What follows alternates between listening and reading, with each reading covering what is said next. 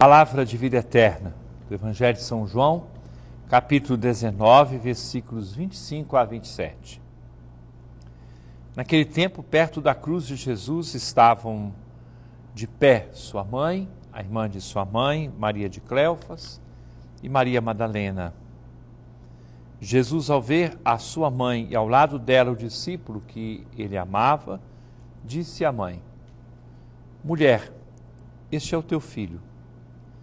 Depois disse ao discípulo: Esta é a tua mãe. Daquela hora em diante, o discípulo a acolheu consigo. Caríssimo irmão, caríssima irmã, celebramos hoje a festa de Nossa Senhora das Dores. Alguém pode estranhar dizendo assim: é de Nossa Senhora das Dores, mas é festa? Exatamente. Porque Nossa Senhora, experimentando aos pés da cruz de Jesus a participação no seu mistério, na sua entrega, fez também o seu ato pessoal de consagração a Deus naquele momento decisivo.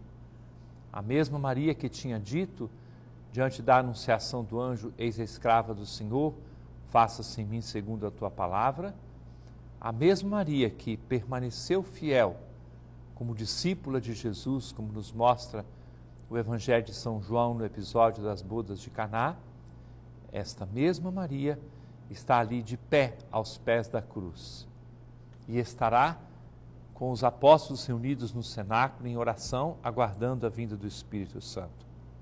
E a mesma Maria acompanha a igreja na sua peregrinação da fé, como mãe, como intercessora e como modelo. Hoje nós a vemos diante da cruz de Jesus. A primeira atitude é esta, de pé. Alguém que enfrenta e estar de pé é posição que na Bíblia quer dizer posição de ressuscitado, alguém que enfrenta com toda disposição as provações que possam aparecer. Depois, a Maria aos pés da cruz é entregue João, que representa todos os discípulos de Jesus. E a João, Maria também é entregue como mãe, de tal forma que o evangelho que acabamos de ouvir traz para nós uma proposta de vida e é esta que quero apresentar a você no dia de hoje. Daquela hora em diante, o discípulo a acolheu consigo. Discípulo de Jesus que se preze, leva Maria consigo, para imitá-la, para acolher a sua oração, a sua intercessão. É palavra de vida eterna.